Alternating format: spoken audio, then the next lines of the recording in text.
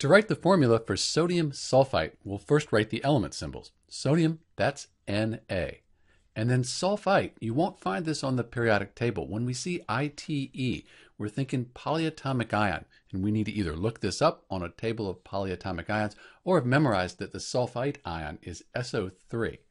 And the whole thing, this whole sulfite here, has a charge of 2 minus. That's its ionic charge. When we look at sodium on the periodic table, it's in group 1. It has a 1 plus ionic charge. So the sodium sulfite, it's a neutral compound. It doesn't say ion after it. There's no plus or minus. Since it's a neutral compound, the charge, it all has to add up to zero.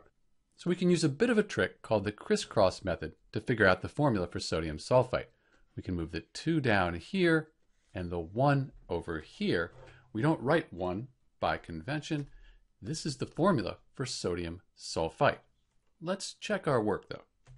So each sodium atom, 1 plus, that's the ionic charge for sodium, then the whole sulfite was 2 minus. So we need 2 times 1 plus. That'll give us 2 plus, balance out the 2 minus. Net charge is 0. This is the formula for sodium sulfite, Na2SO3. And this is Dr. B. Thanks for watching.